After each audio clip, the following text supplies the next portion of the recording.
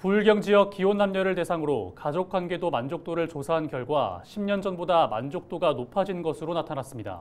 다만 가족을 바라보는 남녀의 눈높이는 현저한 차이를 보였습니다. 보도에 김한식 기자입니다. 동남권 지역 기혼 남녀의 가족 구성원 간 만족도는 어떻게 변했을까?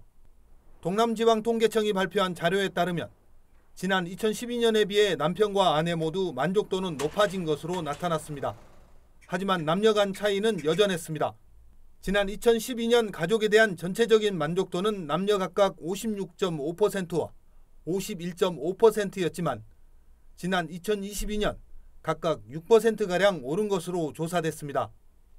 배우자 상호 간 만족도 역시 지난 2012년 대비 각각 5.6%, 7% 높아진 것으로 조사됐습니다. 만족도가 가장 높은 가족 구성원에 대한 질문에 남편과 아내 모두 자녀라고 답했습니다. 이혼으로 과거에 가족 관계가 나빴던 가족이 해체되었고 건의적인 가족 관계가 수평적으로 질적으로 개선되었기 때문인 것으로 보입니다. 시가와 처가를 중심으로 한 조사에서도 남녀 간 차이는 컸습니다. 먼저 남편은 자신의 부모와 장인 장모, 처가의 형제 자매 순으로 만족도가 높은 반면 아내는 자신의 부모, 형제 자매, 시부모 순으로 조사됐습니다. 특히 자신의 형제 자매 만족도에서 아내는 높은 반면 남편은 상대적으로 낮은 것으로 집계됐습니다. 결혼에 대한 견해도 남녀의 시각이 달랐습니다.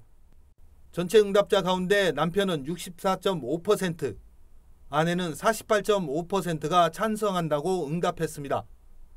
지난 2012년 대비 남녀 각각 8%, 11.7% 감소하면서 결혼을 해도 그만, 안 해도 그만이라고 답변한 중립층이 증가한 것으로 드러났습니다. 가족관계 만족도는 소득과 학력이 높을수록 높았고 부부가 가사를 공평하게 분담할 때 그리고 부모가 생활비를 스스로 해결할 때 그렇지 못한 경우보다 만족도가 높은 것으로 나타났습니다.